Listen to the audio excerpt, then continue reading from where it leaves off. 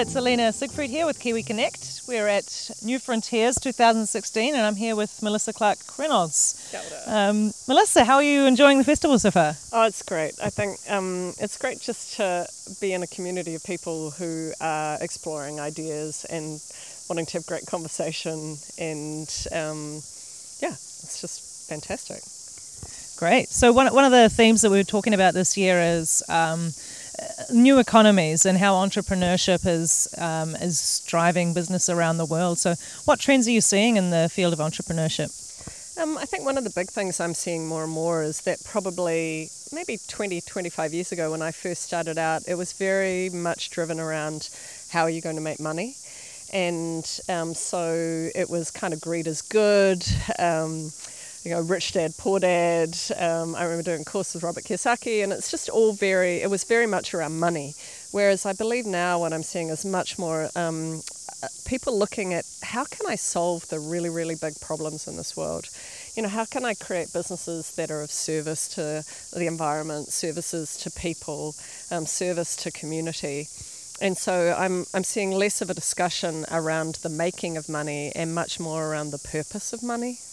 Mm, that's a really great framing is around the purpose of money. Yeah. I mean, ob- obviously, with business, money needs to be involved. So um, we're seeing some models of social enterprise, other forms of entrepreneurship. Have you got any comments around, I guess, um, the way we structure companies? Yeah, I think um, you know, at the moment, I'm seeing quite a few incubators that almost assume, say, social impact or, um, you know, B Corps, or they, they're creating the form first. And I, would really like to invite people to think much more about um, what are you trying to achieve, and then the form should follow the purpose. And so sometimes um, it will be a social enterprise, but social enterprise doesn't mean mm, let's make a bucket load of money and then do good with it what it should be is let's live the solutions we're looking for. And so we use the money that the business makes, um, but the way the business makes the money still needs to be ethical and solving those really deep problems we wanted to solve in the first place. Right, so it's, a, it's about embedding impact first in the core of your business, I guess. I think so, and I think um, more and more we'll see that the um, businesses that are sustainable, and I mean that like survive, will be impact businesses um, and it's no longer appropriate for us to be starting any other kind of business. Right. Um, down in New Zealand here, we've got a country of four and a half million people. Um, we've got some amazing um, businesses, impact-orientated businesses here, but um, that's pretty limiting, I guess, with um, the amount of people we have here. Do you think we'll see more international cooperation in an increasingly globalised world? Yeah, I think we have to. You know, there's long been a joke that um, New Zealand we have no capital and no um, customers really, so no market, no capital, and that means New Zealand companies have to be born global. Um, so right from the beginning, I think we're going to find we've been thinking about trade, but it's way beyond trade. What we now need to be thinking about is our collaborators, our customers, our suppliers, um, the teams that we work with are global. And um, so, you know, I haven't really worked on anything in the last probably 15 years that didn't have a global team from day one. And so that means we have to be really, really good at collaboration. And I think for a small economy, if we want to live in New Zealand, which I do, then our number one skill has to be collaboration. Right. And and do you see that international entrepreneurs are looking towards New Zealand? What what have we got to offer? I think we have a whole lot to offer. I think, um, amongst other things, um, there's the collaboration side, and sometimes New Zealanders can be a little um, individualistic.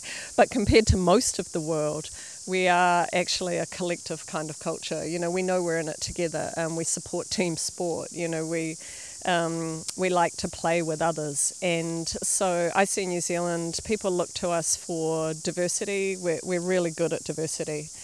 Um, I know we criticise ourselves for it, but compared to most of the rest of the world, we're, we're actually leading lights, sadly. Um, I think New Zealand, so we, we bring diversity to the table, we bring um, a can do attitude, which everyone knows. That lack of capital constrains us in a good way, I think, because it makes us inventive. And so I, I think we have a lot to offer the world. Um, you know, I was joking earlier before we did the film that um, we're the Scandies of the South. And, and what I mean by that is, you know, we're very similar to those Scandinavian countries where we're egalitarian. Uh, men and women can be friends in New Zealand, you know, and, and that, that shouldn't be a revelation, but in many cultures, men and women are not friends. um, they can know each other or they can have a romantic relationship. But true friendship is um, deeply embedded in New Zealand culture between men and women without the romantic or sexual connotations. And I think that enables us to open a lot of potential. Um, we, we are fundamentally against inequality, even if we are an unequal country. Um, we have a sense of fairness that um, means we want to solve these issues, probably much more than cultures that are just about individuals getting ahead or individuals um, with a meritocracy. So sometimes those cultural differences between New Zealand and the US um, can seem quite vast, and other days they don't seem very big at all. It sounds like we've got a pretty good grounding place to launch off from then.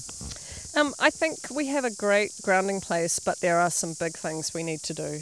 Um, and if I could wave a wand, one, I would get proper internet. You know, um, even when the new fibre comes to my house, I'm still going to have slower internet than I can get on a mobile phone in the English Channel. You know, on a train. Right. Right. so, um, so we need internet if we're going to be globally able to export our ideas and not just our milk. Right. So one. Two is we need to be educating our children for a global economy, and that means multilingual. And we still have a lot of New Zealand kids who only speak one language, and we have to speak at least two Māori and English, and then a third one, some international language. Um, three, we, we suddenly have this focus on STEM. Um, but if we don't train our kids in the arts and if we don't train them in social sciences as well, our science is meaningless to us. So we have a few of these things that we're going to have to address if we really want to compete long term and be part of the conversation long term. Fantastic. Thanks so much for talking to me. You're welcome.